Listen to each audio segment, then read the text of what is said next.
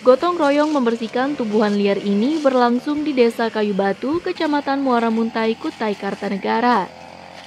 Camat Muara Muntai Muhammad Dahlan mengatakan, kegiatan ini sendiri merupakan inisiasi dari pemerintah Kecamatan Muara Muntai yang melibatkan aparatur desa, Linmas Pramuka Peduli, KNPI, dan anak sekolah di wilayah itu.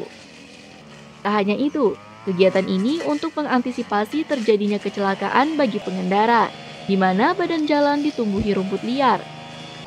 Muhammad Dahlan juga mengemukakan jalan ini merupakan akses utama bagi warga Muara Muntai dan merupakan jalur penghubung antar wilayah di Kutai Kartanegara khususnya dan Kalimantan Timur umumnya.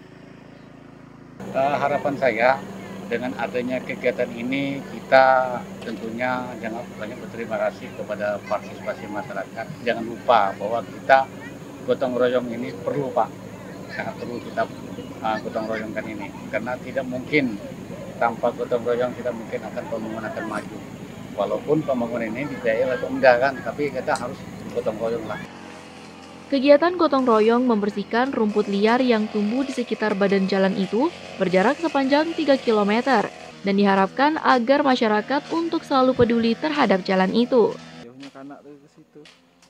Virus Yarhan, Kaltim, Tara TV, melaporkan.